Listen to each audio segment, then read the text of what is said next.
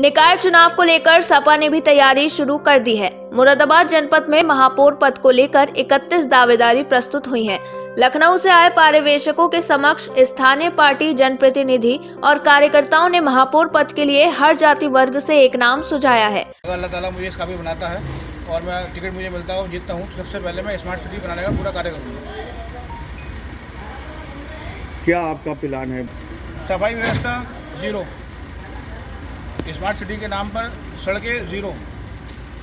जनता परेशान है, ट्रैफ़िक समस्या बहुत ज़्यादा है, हाउस टैक्स की समस्या बहुत ज़्यादा है। इन, इन- इन्हीं सबको जो है ध्यान में रखते हुए कार्य करेंगे, जो भी करेंगे। फ़िलहाल पार्टी परिसीमन का इंतज़ार कर रही है। वहीं शनिवार को चक्कर की मिलक स्थित सपा कार्यालय में लखनऊ से आए पर्यवेक्षक विधायक मनोज पारस ने कार्यकर्ताओं संग बैठक की। वहीं पर्यवेक्षकों ने सभी टिकट के दावेदारों से वोटर लिस्ट पर विशेष मेहनत करने का निर्देश दिया है। आपको बता देंगे अभी तो आप जो इकतीस है वो छटनी कर रहे हैं किसका क्या है वो सब जानकारी हम आपको क्या इनके इंटरव्यू भी किए जा रहे हैं? वो ये ये प्रक्रिया बाद की है अभी आवेदन जमा हुए हैं। ये प्रक्रिया बाद की है प्रक्रिया लखनऊ हुई चलिए ठीक। साथ ही प्रत्याशी दावेदार अपने सभी वोटर का नाम लिस्ट में ज़रूर जुड़वाएँ। सपा के पर्यवेक्षक और नगीना से विधायक मनोज पारस ने बताया कि 31 आवेदन प्राप्त हुए हैं।